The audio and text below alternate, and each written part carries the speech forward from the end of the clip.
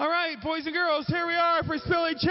Oh, yeah, we're in for a party tonight. I've got Jeremy and Brett and Peter, and they are Future Dog for your entertainment pleasure.